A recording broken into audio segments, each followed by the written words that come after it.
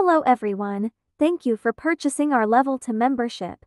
This videos contains drills for agriculture and fishery arts major with correct answer and rationalization.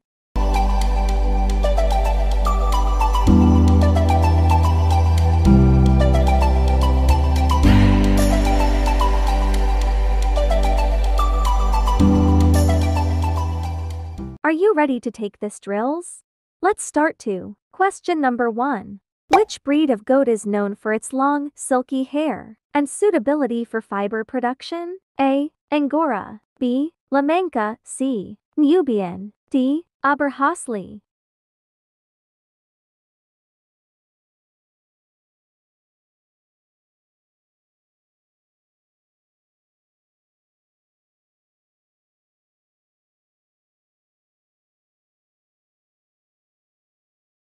The correct answer is letter A, Angora. The Angora breed of goat is known for its long, silky hair and suitability for fiber production. Angora goats have a long, silky coat that is highly sought after for its softness and warmth. They are known for their hair which is used to make clothing and other textile goods, making them one of the best fiber producing goats. Here are the pictures of these for breeds of goats. This one is Angora. Second is Lamanca. Third is Nubian. Last is Aberhausley. Question number 2. You are raising a group of pigs in an indoor facility and have noticed that some of them are showing signs of aggression and fighting. What is the best course of action? A. Separate the affected pigs to prevent further fighting. B. Increase the amount of feed provided to the pigs to reduce aggression. C. Administer medications to the affected pigs to reduce aggression. D. Increase the size of the indoor facility to provide more space for the pigs.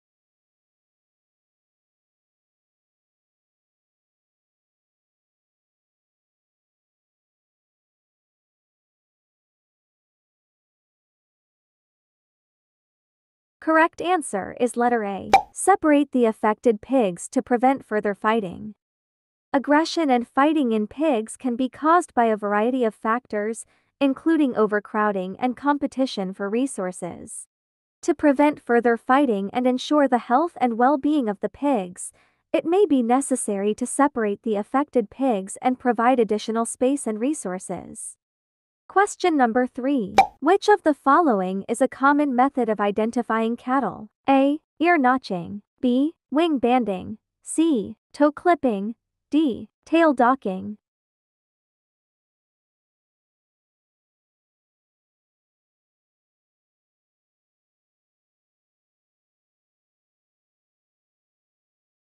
Correct answer is letter A. Ear notching.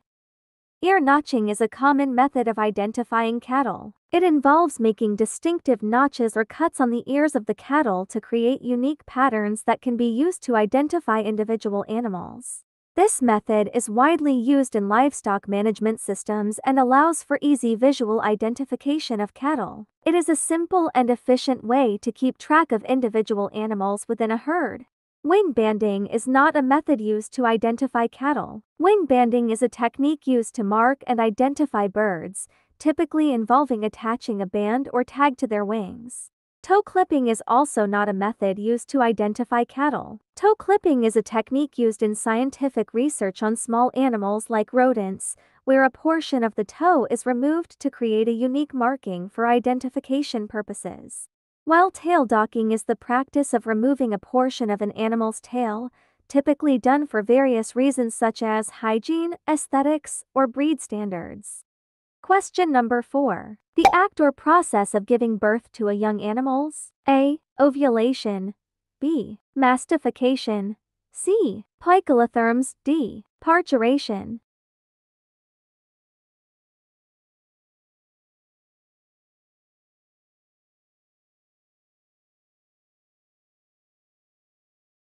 The correct answer is letter D, parturition. Parturition is the act or process of giving birth to a young animal. It is the final stage of pregnancy, in which the fetus is expelled from the mother's uterus and delivered into the outside world.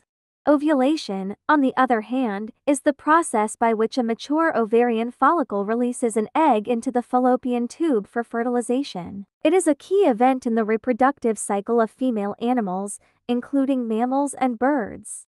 Mastication refers to the process of chewing food in the mouth, while poikilotherms are animals whose body temperature varies with the temperature of their environment. Question number 5. The series of process by which an organism takes and assimilates food for promoting growth and replacing worn out or injured tissues. A. Nutrients.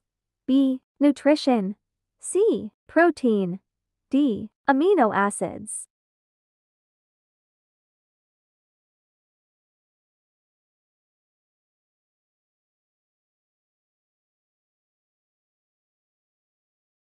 Correct answer is letter B, nutrition. Nutrition refers to the series of processes by which an organism takes in, assimilates, and utilizes food for promoting growth and replacing worn out or injured tissues. It encompasses the ingestion, digestion, absorption, transport, metabolism, and excretion of nutrients in the body. Question number 6. The abnormal of difficult labor during parturition? A. Dystocia, B. Emaciation, C. Defecation, D. Litter.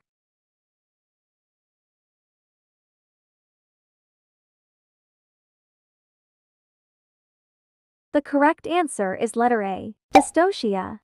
Dystocia is a term used to describe abnormal or difficult labor during parturition, which is the process of giving birth. Dystocia can be caused by a variety of factors, including fetal size or position, maternal health or anatomy, and environmental stressors. It is a potentially life-threatening condition for both the mother and the offspring, and requires prompt diagnosis and intervention by a veterinarian. Emaciation refers to a state of extreme thinness or wasting of the body, typically due to a prolonged period of malnutrition or disease. Defecation is the process of eliminating waste material from the body, typically in the form of feces, through the rectum and anus. Litter refers to a group of offspring born to an animal during a single parturition event. Question number 7. A group of animals which possess certain characteristics that are common to individuals within the group of animals within same species. A. Type. B. Breed. C. Stride. D. Strain.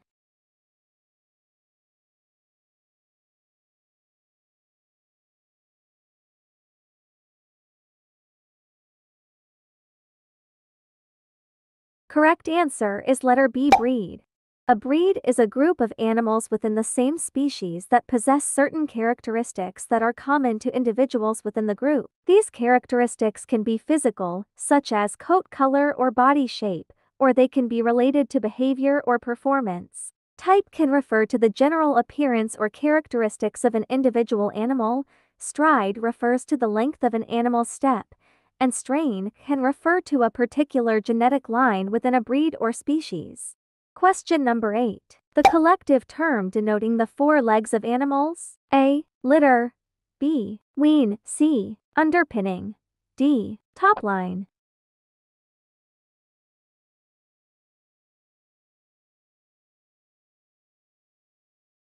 Correct answer is letter C. Underpinning.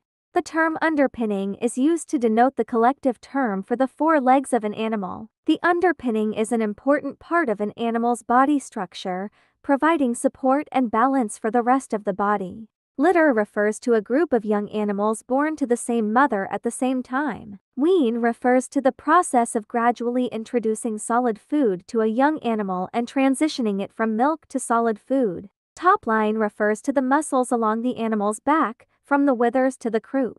Question number 9. The inflammation of the udder or mammary gland. A. Mastitis. B. Metritis. C. Litter. D. Nicking.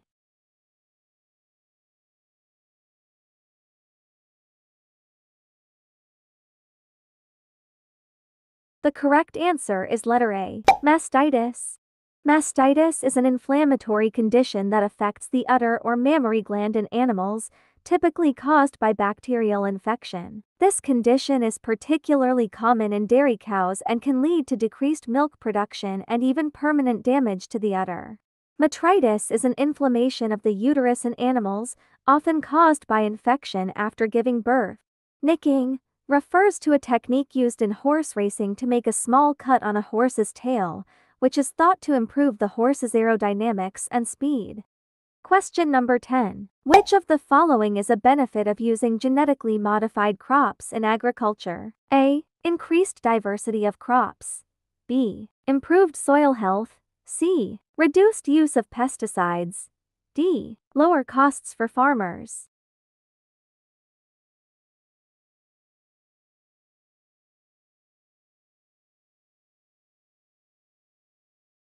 Correct answer is letter C. Reduced use of pesticides. Some genetically modified crops have been engineered to be resistant to certain pests or diseases, which can reduce the need for pesticides and other chemicals in agriculture. This can have benefits for both the environment and human health.